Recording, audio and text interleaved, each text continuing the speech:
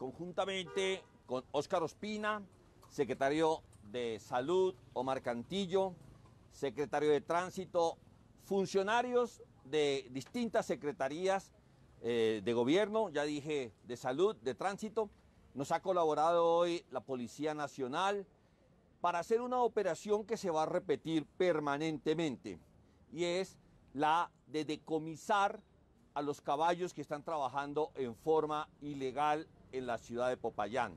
Hoy estamos con cuatro ejemplares que han sido rescatados de este trabajo ilegal. Van a ser llevados a un refugio provisional que tenemos aquí en la zona rural del municipio.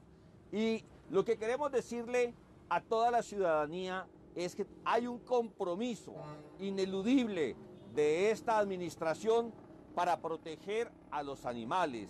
Estamos trabajando por construir el refugio animal, que va a ser definitivo en una muy buena zona de la ciudad. Estamos trabajando para evitar que tengamos estos casos, repito, de trabajo ilegal. Estamos trabajando para proteger a la fauna callejera, pero también a la fauna silvestre. Estamos en una tarea permanente también de pedagogía para decirle a la gente que proteger a estos seres es proteger la vida, es proteger los derechos de los que no tienen voz. De manera, mis queridas amigas y amigos, hoy queremos decirle a Popayán que este es un compromiso que está en mi plan de gobierno, está en el plan de desarrollo y que vamos a seguir haciendo esta actividad.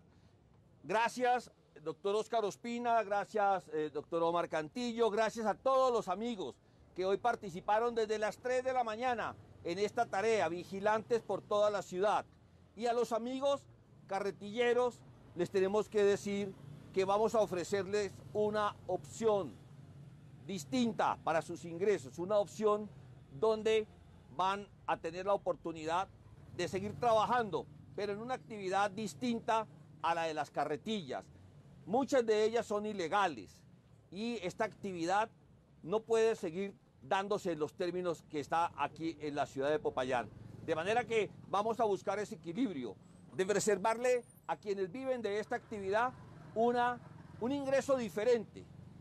En, a estos carretilleros, por ejemplo, que se les decomisaron estos animales el día de hoy, se les van a entregar unos mercados para que los tengan durante unos días, tengan el sustento, pero les estamos ofreciendo una reubicación de tipo laboral con un ingreso en tareas que cumple el municipio. Eso es lo que quería decirles, doctor Ospina, doctor Cantillo, muchas gracias de nuevo a todos ustedes. Gracias a usted. Bueno, gracias. En novedades, noticias y comentarios con objetividad e independencia.